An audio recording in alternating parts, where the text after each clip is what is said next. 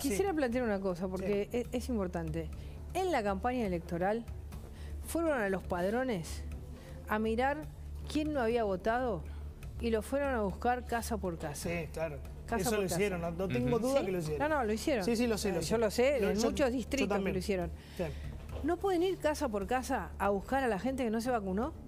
Vos decís mucha microdinámica electoral y mucho, poca mucho microdato. Claro. Mucho microdato para la elección Claro. y poco microdato para la Mucho salud de todos los para las argentinos. elecciones. ¿no? Sí. A ver, ¿qué es más? Eh, digamos, son importantes las elecciones, por supuesto, es nuestra base democrática.